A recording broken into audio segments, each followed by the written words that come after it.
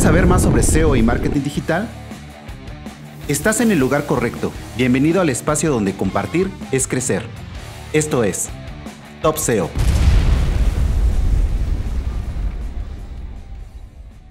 Hola Chuck, bienvenido, ¿cómo estás? Hola Miguel, ¿qué tal? ¿Qué tal? ¿Cómo vas todo? Muy bien, todo por acá, ya sabes, encerrados todavía, pero con muchas ganas de, de compartir conocimiento. Como se darán cuenta, nuestro invitado el día de hoy es Chuck Peñalver.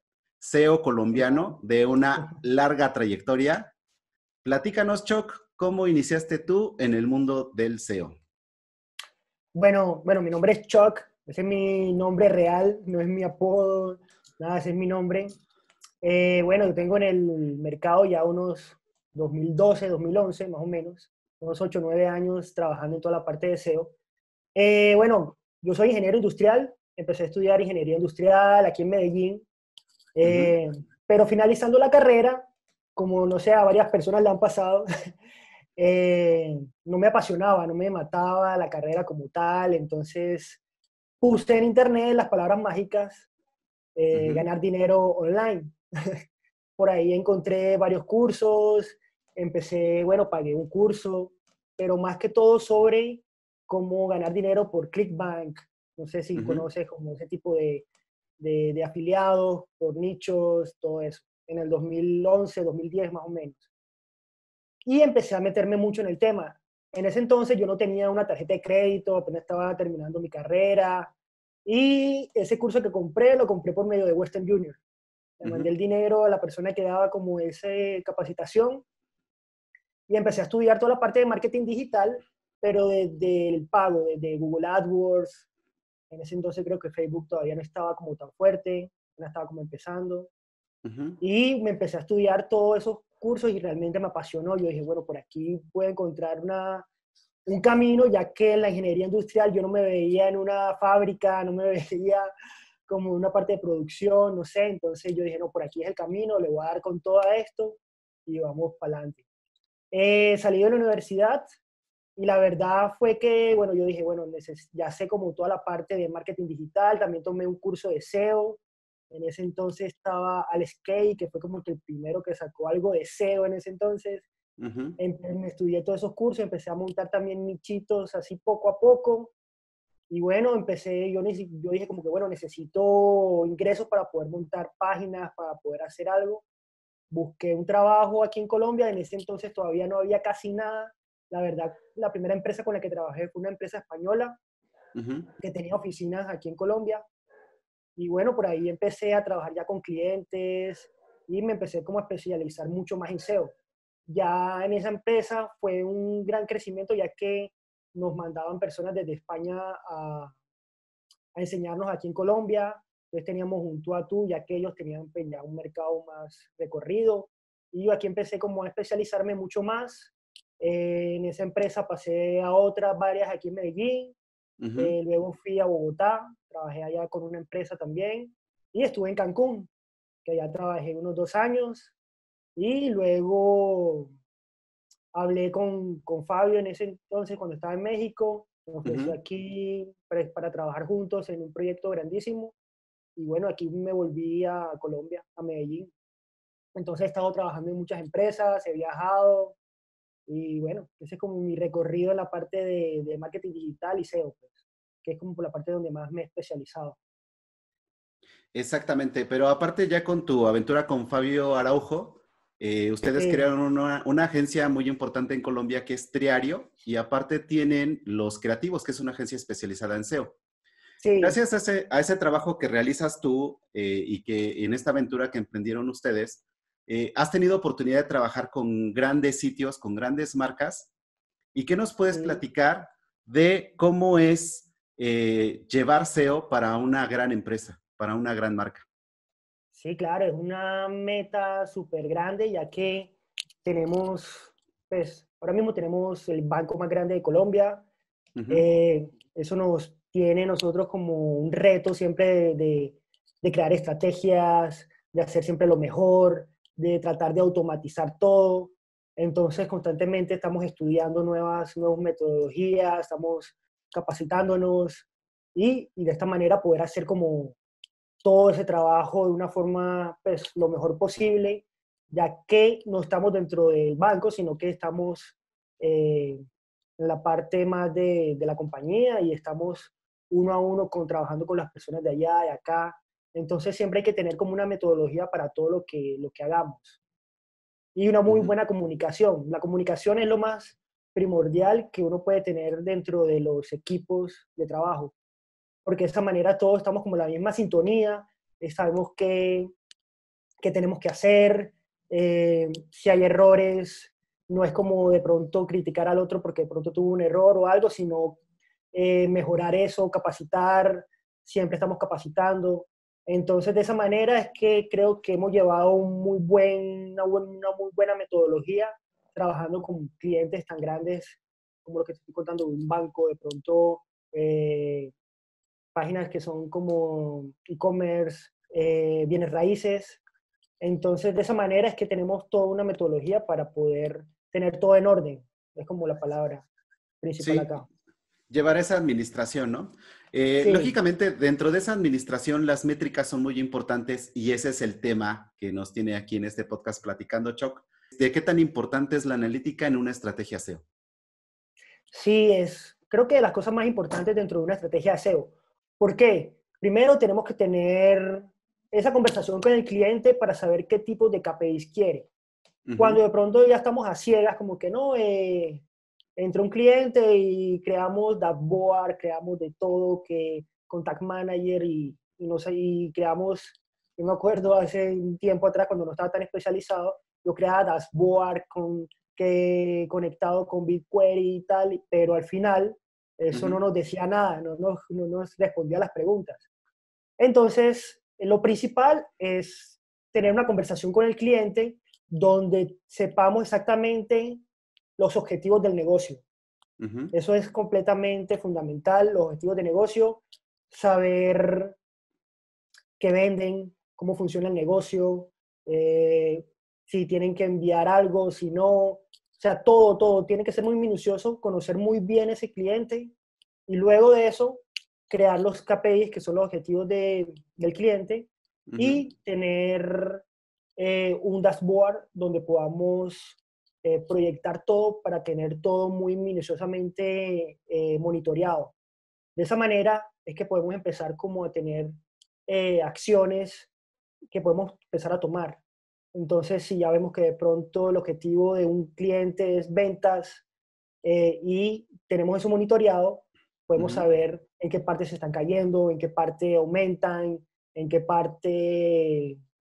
Sí, eh, hay ese como esa falencia donde nosotros podemos entrar ahí y tratar de mejorarla para que el cliente tenga una mejor, unas mejores ventas, sí. Esto es muy importante porque, como comentabas hace un momento, eh, aquí viene mucho la retroalimentación del cliente, de que el cliente tenga claro qué es lo que quieren lograr con la estrategia de SEO para que ustedes puedan medir esos KPIs oportunamente y ver por dónde puedes ir ajustando poco a poco, ¿no? Ya cuando tienes las métricas, cuando ya tienes definido un KPI, ¿cuáles crees que tú sean las principales métricas que afectan una campaña SEO? Bueno, por ejemplo, cuando tú sabes realmente una página en específico que es muy objetivo de negocio del cliente, tú sabes exactamente qué métricas le pueden afectar, como las visitas orgánicas, que bajaron o subieron, o qué está pasando con, ese, con esa página en específico, el CTR, las impresiones. Obviamente, si estamos hablando todo de lo orgánico, todas esas métricas son muy importantes porque de esa manera vamos identificando qué es lo que está pasando. Entonces, por ejemplo, si tenemos una bajada en, en ciertas páginas de negocio, entonces podemos empezar a investigar muy profundamente si la redacción está bien, si de pronto, si está respondiendo a lo que el usuario está buscando, si no. Entonces ya podemos tener como muy monitoreado ese tipo de páginas para saber cómo actuar. Muchas veces también hay redirecciones o de pronto le están haciendo link building y ese link building eh, tiene páginas spam. Entonces, de esa manera, eh, son como esos tipos de, de, tráfico, esos tipos de, ítems que pueden afectar mucho una página en específico.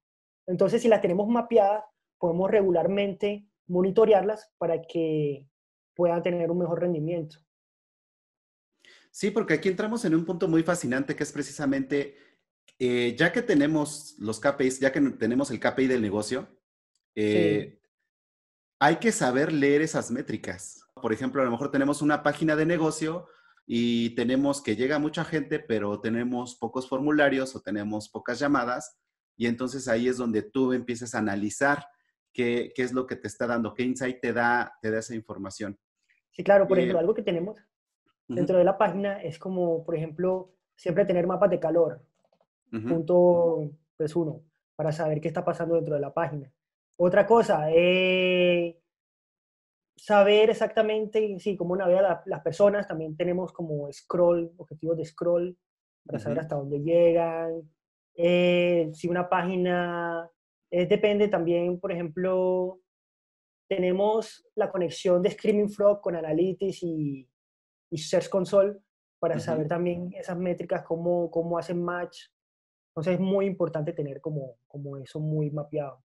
Este punto es tan amplio que depende de la casuística del proyecto, ¿no? Ese análisis de las métricas, ¿tienes alguna manera de, o alguna metodología que hayas desarrollado o que te haya funcionado?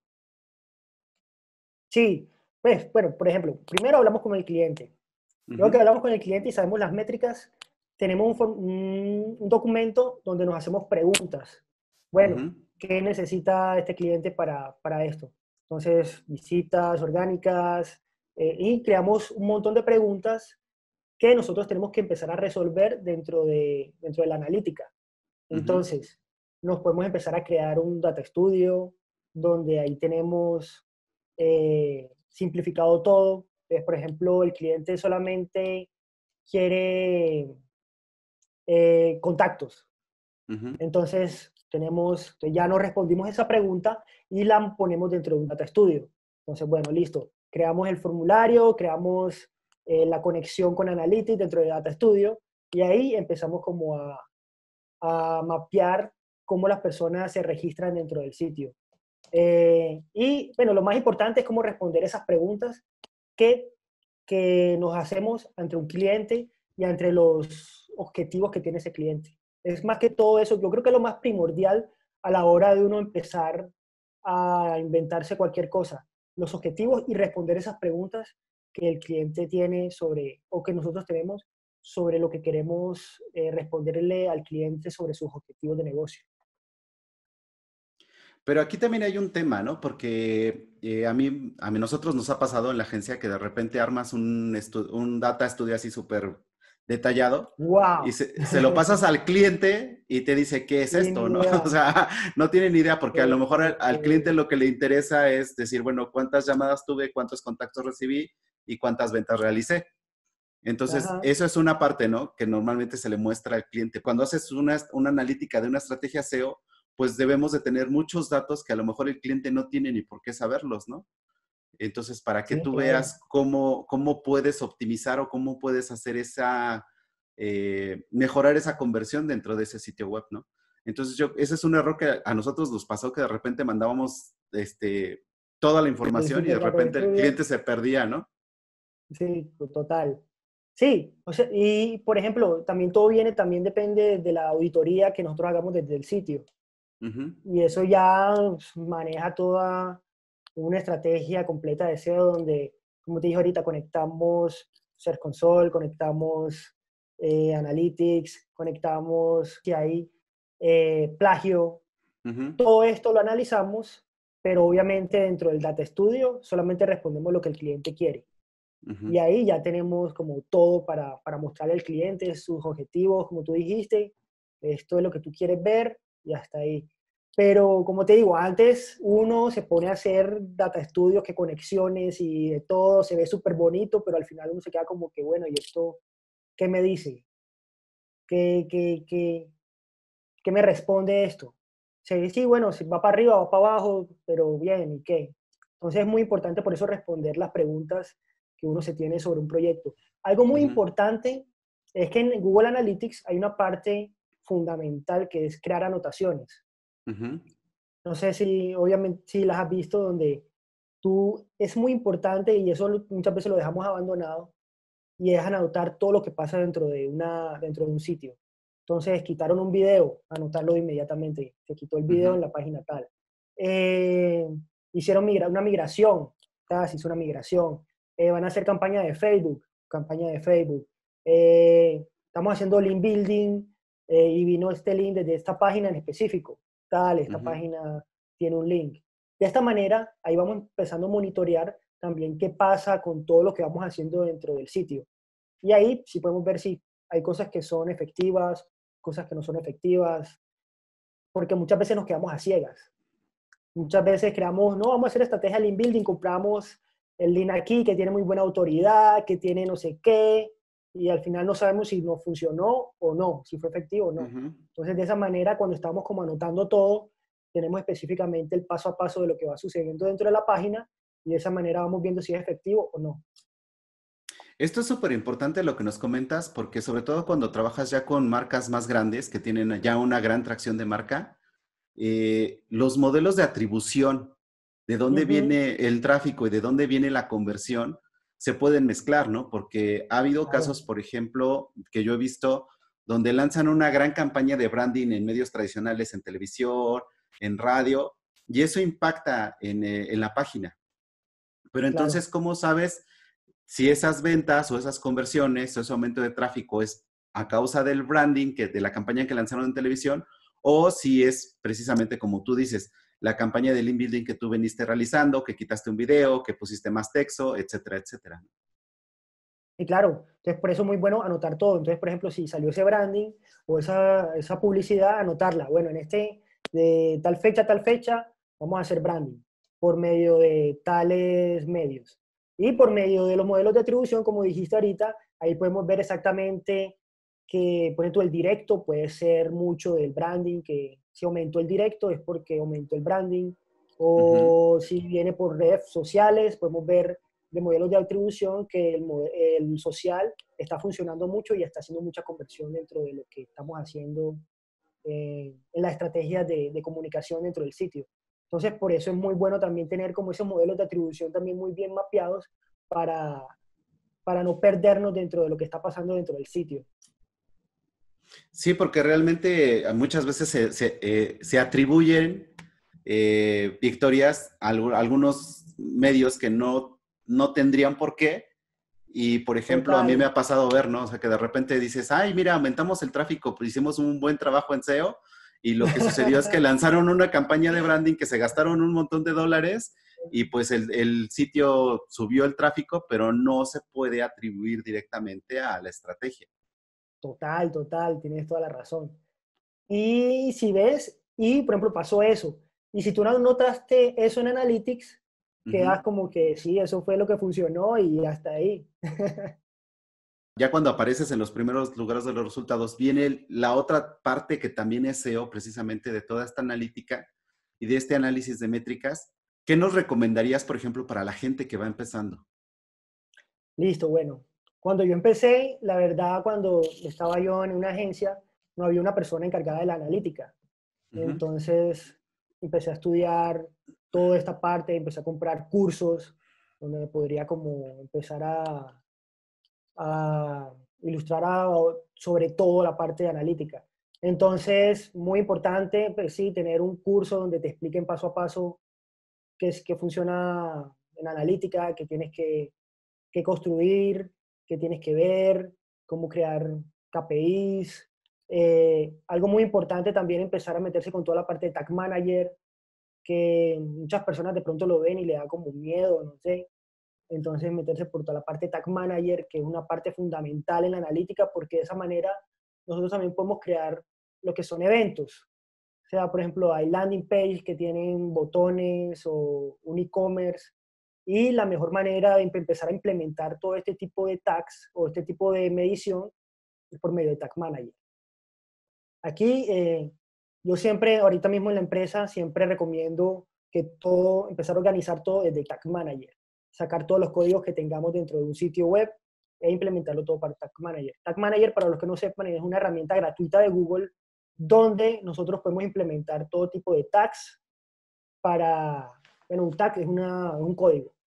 Todo tipo de códigos, ya sea de Google Analytics, de mapas de calor, píxeles de Facebook, píxeles de Google Ads, toda clase de códigos que tú quieras implementar dentro de un sitio, lo podemos hacer desde ahí sin la necesidad de molestar a la persona, al programador. Entonces, eso nos alivia mucho el, el, camino para empezar a hacer todo este plan de medición. Lo ideal es, como con el cliente, siempre ir a la mano para saber qué es lo que queremos medir. Entonces, si tenemos formularios, empezar a medir todo este tipo de formularios, cuando las personas envían un, eh, un contacto, hay un error muy frecuente que pasa con los formularios, es que muchas veces medimos los botones cuando las personas dan clic dentro del botón. Y lo ideal es medir cuando una persona realmente envíe eh, el contacto. De esa manera vamos a tener un, eh, una métrica mucho más real de lo que está pasando dentro del sitio. Eh, y con el cliente empezar también como, bueno, ¿qué quieres medir? ¿Qué queremos ver? ¿Qué queremos ¿Qué quieres, qué quieres mapear? Entonces, si es un e-commerce con Tag Manager, podemos mapear cuando las personas dan clic en un producto, cuando las personas dan clic en añadir al carrito, cuando una persona da clic en comprar el producto o cuando lo quitó. Entonces, importante estudiar también toda la parte de Tag Manager, de pronto estudiar algo de código también para, porque por medio de Tag Manager podemos implementar código de manera que también le podemos decir como que, hey, yo quiero saber el, cuánto vale este producto y que me lo muestre en Analytics. Entonces, por medio de un codiguito, los códigos también se pueden encontrar en foros y eso, pero es muy importante también como conocer ese tipo de, códigos. Eh, y de esa manera podemos empezar también como a, a tener todos esos resultados o todo lo que pasa dentro del sitio si lo sabemos mapear por medio de Tag Manager en Analytics. En Analytics hay una parte eh, muy específica que dice eventos o objetivos donde podemos ver todo lo que pasa dentro del sitio. Y si son objetivos de negocio, ahí lo tenemos clarísimo, cómo, cómo está funcionando ese tipo de, de eventos que hemos realizado en un plan de medición. Súper interesante todo lo que nos comentas, pero esta es como que la parte de, cómo tagueas o, cómo haces el, eh, qué es lo que vas a medir, ¿no? Pero luego viene, eh, por ejemplo, ahorita que estabas diciendo de los botones del formulario, el otro día tenía una plática con, con un amigo que me dice, bueno, ¿qué sería mejor? Por ejemplo, medir el evento cuando le dan clic en enviar en un formulario o hasta que te, si tienes una página de gracias, una, eh, el evento ya en la página de gracias, ¿no? Sí. No, lo ideal es la página de gracias. Porque cuando la persona dan clic, muchas veces pasa que la persona llenó el formulario y pasó algo malo. De pronto le faltó el correo, le faltó el teléfono, no sé, algo así. Entonces, obviamente, cuando le dan clic, muchas veces dice como que, hey, este formulario le faltó un registro, le faltó el número de teléfono. Y si vemos en Analytics, nos contaría como si la persona realmente hubiera enviado el, el formulario. Entonces ahí tenemos como ese, no tenemos como las métricas muy bien organizadas. Por eso es muy importante más bien que cuando la persona, nosotros podemos configurar el formulario para que él nos entregue ese evento cuando la persona realmente envió todos los datos, eh, envió todos los datos. Y cuando llegó a la página de gracias, ahí también podemos crear un objetivo dentro de Analytics y ese objetivo, él nos va a decir exactamente cuántas personas convirtieron y llegaron hacia la página de gracias. Pasa mucho que hay formularios que en el mismo no tiene una página de gracias, sino que ahí mismo te, te dice que gracias. Entonces, en ese caso, tendríamos que solamente medir cuando la persona realmente configuró todos los datos e hizo ese envío. Eso sí se hace con un evento de, de Tag Manager, donde le ponemos que el evento es tal, la acción es tal, eh, y que solamente, y le ponemos una regla que obviamente así es muy difícil explicarlo, sería bueno como hacer una, eh, un tutorial, pero en la parte de una, de, una, le damos una regla para que él exactamente mande, nos, nos, nos envíe ese evento cuando la persona envíe esa página de contacto, lo que, lo que haya puesto dentro del formulario. Entonces, de esa manera, Creo que es la mejor forma para medir como este tipo de, formularios. Cuando, si tenemos la página de gracias, cuando llega a la página de gracias, creamos un objetivo. Y cuando está en la misma página de las gracias, es cuando le damos esa regla que solamente se active cuando realmente la persona llenó todos los datos del formulario y se pueda enviar eh, todos los datos. Fíjate que también ahorita me vino a la mente algo que sucede cuando uno empieza a moverle a la analítica, que quieres medir todo. Entonces, quieres, un, evento de, del scroll, de, de, si pues tienes un botón en, de llámanos en la parte de arriba, en el, en el footer, si tienes call to actions, etcétera, etcétera. Entonces, eh, eh, retomando lo que nos comentabas, es muy importante ver las métricas, los KPIs, lo que es realmente importante, medirlo bien, pero también después ya cuando tienes esas métricas también hay que limpiarlas porque esa es parte del trabajo precisamente de, hacer la analítica dentro de un sitio web y más si es muy grande, ¿no? Porque tienes que ver qué realmente te funciona, qué no te funciona. Y yo creo que también eso es parte del de trabajo que tienes que realizar todo el tiempo, ¿no? Sí, claro. Entonces, por eso, bueno, nosotros queremos medir todo. A mí me pasa en una página y yo soy feliz midiendo de todo. Pero como lo decías, sí es muy importante tener como ese, ese camino, esa conexión con el cliente para eh, realmente ver si lo que estamos midiendo, si, si realmente le funciona a él. Entonces, por ejemplo, nosotros tenemos cada mes con un cliente el match de lo que realmente los formularios enviaron y lo que realmente ellos tienen dentro de su Excel. Entonces ahí vamos viendo como que, bueno, tenemos 300 más en Analytics, pero tú solamente tienes 100 contactos. Entonces ahí vamos como, como puliendo, como que, bueno, ¿qué está pasando con este, con este formulario? Si estamos midiendo bien o... Y ahí es cuando ya empieza como toda la parte de código. Entonces ya me tocaría como empezar a hablar con el de, con el de programación para ver cómo mejoramos ese tagueo o cómo mejoramos toda esta parte para que para no tener como ese problema de esas diferencias de, de datos. Porque los datos siempre nos hablan. Entonces vemos esos datos y si realmente sabemos tener los KPIs, ya podemos leerlos de una manera muy, mucho mejor. Y si tenemos esa conexión con el cliente, ya podemos hacer como ese, ese match de, de que realmente nos puede funcionar y que no. Entonces, por ejemplo, si un cliente tiene ese KPI de que no, cada mes tenemos que tener 200 contactos y nosotros vemos dentro de Analytics que tenemos 300, entonces ahí hacemos como las mejoras y también vamos viendo qué pasa dentro del sitio. Si ya pusimos un mapa de calor, vemos cómo las personas empiezan a navegar, cómo... Entonces ahí también vamos puliendo qué tal si colocamos un video aquí o qué tal si colocamos un banner que llame la acción, porque aquí vemos que las personas se quedan mucho más leyendo, lo podemos aprovechar. Entonces todo este tipo de datos que nos, que nos arrojan las diferentes herramientas eh, es cuando podemos tomar decisiones respecto a la data. Bueno, aquí ya mencionaste las herramientas, pero yo creo que alguna persona que no está familiarizada o que está entrando en el mundo de deseo y empieza a ver esto y analítica y mapas de calor y de confeti y scrolls y eventos y todo esto, eh, ¿qué tipo de herramientas son las que utilizas normalmente? Sí, bueno, ahora mismo estamos utilizando Lucky Orange. Eh, para una persona nichera o, o que quiere empezar a ganar dinero por medio de sus blogs, les recomiendo Yandex, métrica, que es gratuita y tiene lo mismo que Lucky Oran o Hotmart. Todas estas tres las recomiendo para la parte de mapas de calor. Eh, ahí podemos ver todo lo que es scroll, podemos ver los mapas de calor, podemos ver videos de cómo las personas se manejan dentro del sitio. Y Hotmart, Lucky y Yandex tienen como versiones gratuitas. Pues tienen como, como hasta 2.000 visitas, creo, más o menos. Esa es súper importante.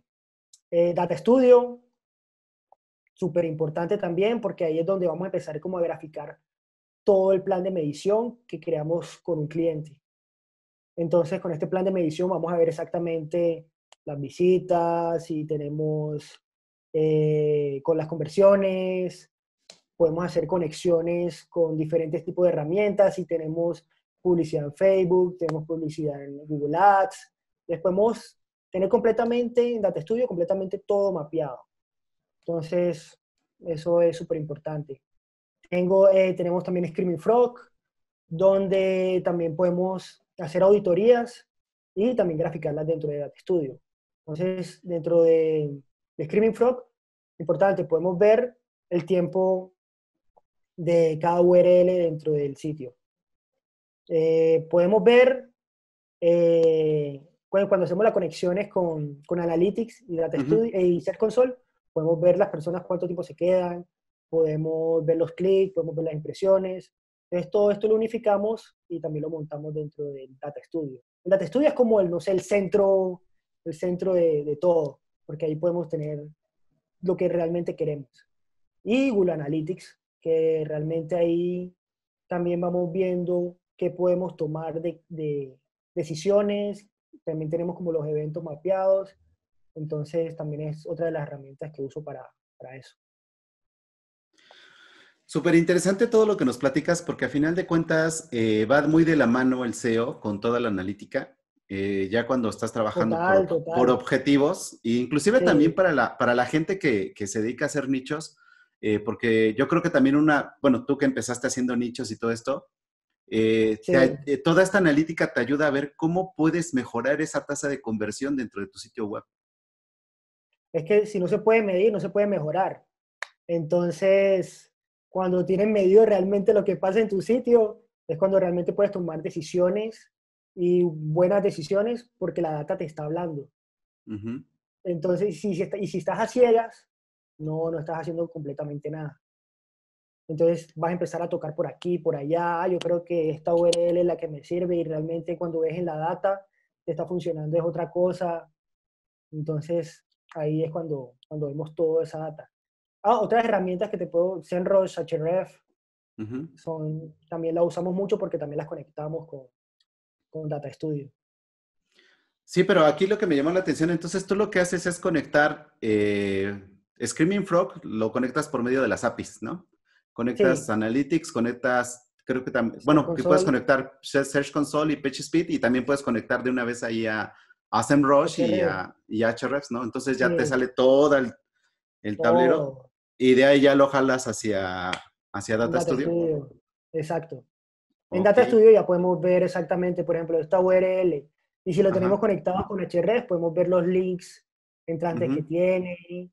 También podemos ver eh, los links que salen. Podemos ver cómo se comporta esa, esa URL en los últimos seis meses. Entonces, y si es una URL de objetivo, podemos ver exactamente qué ha pasado con esa URL. Entonces, sí, es súper importante eso.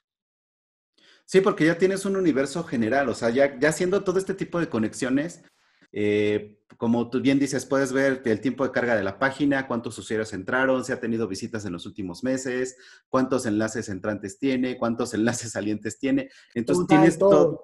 todo, todo un universo que te va a permitir tomar decisiones para tu estrategia SEO. Total, total, sí. Sin eso, creo que estaríamos a ciegas hoy. Y cada vez las herramientas nos dan mucho más, evolucionan de una manera increíble que hace 10 años, la verdad no sé, pues ahora mismo que empiezo a ver como todo lo que hacemos, yo hace 10 años como que ve como, como yo hacía todo lo que hacía sin, sin todas estas herramientas. Entonces es muy chévere como tener esa posibilidad de tener todo mapeado, tener como una herramienta tan, tan sencilla como Screaming que te muestra que es un monstruo en la parte de, datos que te muestra exactamente qué pasa en tu web. Entonces eso es muy increíble a la hora de uno de empezar a hacer una estrategia SEO. Sí, yo creo que es una de las herramientas fundamentales que, que, hay que empezar a, Si no la tienen, descarguen la gratuita. Sí, tiene 500. Este, para 500 URLs. Eh, pero pues sí es fundamental y empiecen a moverle, porque fíjate que yo me, he tocado, me ha tocado en muchas personas que, que, están empezando en SEO, cuando les empiezas a hablar de analítica ponen sus ojos así de, no, yo no, pero sí es súper importante, ¿no? Sí, total, total, del todo. Eh, por ejemplo, ahí, ahora mismo queríamos como empezar como a automatizar también toda esta parte de, de analítica y hay cosas que se pueden hacer con BigQuery, se pueden hacer con, con Python. Entonces, ahora mismo en la empresa estamos creando un software que, que nos diga como, como que puede pasar en el futuro con, con, con ciertas webs. Entonces queremos como tratar de predecir en ese tráfico que ha tenido, a ver en dónde de pronto puede mejorar o no, si hacemos tales acciones, predecir como, como ese tipo de tráfico. Estamos trabajando mucho en ello, pero, pero ahí vamos. Suena, suena muy interesante. Sí, sí. Ahí, luego cuando, cuando la tengas nos platicas cómo va y cómo funciona, porque estaría súper, súper genial poder hacer eso. Sí, total. Sí, porque, por ejemplo, podemos saber exactamente cómo nos fue, si hacemos tales acciones, podemos ver cómo nos puede ir en el Día de la Madre, por ejemplo, podemos ver cómo nos va en diciembre, o cosas así por el estilo. Entonces está muy interesante, sí, como ese software que estamos como realizando. Pero eso es un trabajo enorme, ¿no? Porque tienes que hacer como que los, la, la proyección entonces, sacar, por ejemplo, tomar todas las los variables. Todos los datos. Ajá, sí. sí. Sí, no, tomamos todos los datos de todo el tiempo que tiene como esa página en específico y ahí empezar a analizar también cuántos clics, impresiones, todo ese tipo de, datos, big data prácticamente y empezar a ver qué pasa dentro del sitio. Sí, sí, sí, es súper interesante. Eso nos daría para como para cuatro podcasts más cuando empezamos a hablar ya de, automatización, big data, eh, manejo de BigQuery y todo eso es otro mundo, ¿no? Sí, sí, total, total. Bueno, Choc, también hay otra pregunta que estoy haciendo para todos los, los CEOs, sobre todo nosotros que estamos en Latinoamérica, que tú que ya llevas tanto tiempo en el medio y trabajando de tanto del lado de los nichos como del lado de, agencia y para empresas. ¿Cómo ves en la actualidad el SEO en Latinoamérica? Yo la veo que está creciendo muchísimo y eso me gusta mucho. Cuando yo empecé, como te dije, yo empecé a buscar trabajo a ver y realmente encontré una empresa que solamente buscaba a alguien que supiera SEO. Y ahora es muy increíble cómo, cómo el nivel eh, ha crecido tanto que, que, estamos como pues no al nivel de Europa, pero sí vamos como en un nivel donde las personas estamos creciendo mucho, hay mucha información, la información está a la mano, entonces hay muchas personas en Latinoamérica que, que estamos muy pendientes de todo lo que pasa, entonces, y realmente se está creando como esa comunidad dentro de los diferentes países en Latinoamérica. Entonces ya, por ejemplo, ya está el Day, ya, ya hay diferentes eventos, por ejemplo, WordPress, en cada, cada ciudad. Entonces, veo que está creciendo mucho, está creciendo mucho y eso es muy bueno para, para, el mercado, porque ya cada vez las empresas también ven que necesitan una persona que haga SEO, que haga eh, tráfico o que esté en la parte analítica. Por ejemplo, en muchas agencias que donde yo he trabajado, casi ninguna tiene una, un campo solamente de analítica. Ya, ya veo empresas donde ya le están apostando mucho solamente a, un, a, tener solamente un grupo de analítica, un grupo de SEO, un grupo de, de tráfico. De, entonces, muy importante. Veo que está creciendo mucho y eso es muy chévere para, para el mercado aquí en Latinoamérica. Sí, es, es, algo muy importante, sobre todo esa transformación digital de la que hablamos, pero no solamente de, de, redes sociales o de tráfico, o sea, porque sí tienes razón, yo conozco aquí en México también varias empresas y varias agencias que solamente tienen su departamento de ads, de redes sociales y a lo mejor hacen un poquito de SEO, pero realmente no desarrollan ese músculo de la analítica que es central, ¿no? Que recuerdo mucho, por ejemplo, cuando platiqué con tu paisano Jorge Jaramillo, que él me decía que él, en donde trabajaba anteriormente, era así, ¿sabes qué? El, data scientist es el que va a decir si funciona o no funciona. entonces, entonces, yo puedo traer, puedo creer que es la mejor idea del mundo, pero si realmente los datos y esa analítica me dice que está funcionando o no funciona, ya es cuando se toman decisiones. Sí, total. Por ejemplo, me acuerdo, pues, últimamente, el año pasado, me, en varias universidades me llamaron para dar clases. Entonces, con muchos estudiantes que estaban ahí, un diplomado, yo les dije, bueno, eh, ¿qué, ¿qué, negocio tienes? Ah, tengo tal y yo creo que me buscan por tal. La gente siempre tiene como una creencia como que, ah, me, yo creo que la mejor palabra para esta, para mi negocio es tal cosa. Y cuando buscamos las herramientas y vemos la data, vemos que realmente tu negocio funciona por tales palabras claves, eh, tal URL es la que realmente te funciona. Entonces la data es la que te va a decir completamente todo sobre tu sitio. Entonces, el data es primordial en una empresa, en un negocio, en un nicho, todo. Y de esa manera es que podemos tomar esas decisiones buenísimas. Exactamente, para crecer, ¿qué es lo que queremos? Choc, de verdad te agradezco mucho tu tiempo. Se nos fue volando, como siempre digo aquí en el podcast. Eh, tenemos cierto tiempo. En dado caso que alguien de la audiencia te quiera contactar, ¿por qué medios lo puede hacer? Por LinkedIn, eh, ahí estoy como Choc Peñalver, ahí me pueden encontrar. Eh, en Instagram también, pues solamente con, colocar mi nombre en cualquier red social me pueden encontrar. Eh, estamos siempre colocando mucha información dentro de loscreativos.com. Ahí no es mi blog, pero es como donde compartimos la mayor información de, de SEO, analítica, redes sociales, todo. Entonces, por ese medio también me pueden contactar. Y si ves aquí, mira, mira arribita, ahí tengo los tres sombreritos, el black, el, el white, el... Exactamente. entonces, entonces en, en, el blog de los creativos, ahí colocamos como todo ese tipo de información y, y por ahí me pueden contactar.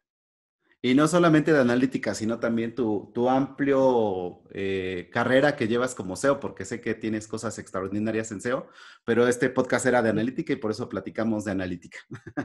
Perfecto. No, Miguel, muchísimas gracias por la entrevista. Muy, muy chévere. No, te agradezco a ti tu tiempo y estamos en contacto y espero que pronto nos reunamos a tomarnos unas cervezas que nos hacen falta. Ay, ojalá, unas buenas chelas. Como decimos acá en México. Te mando un abrazo muy fuerte, Chuck. Cuídate mucho. lo mismo, Miguel, que esté muy bien. Hasta luego, bye.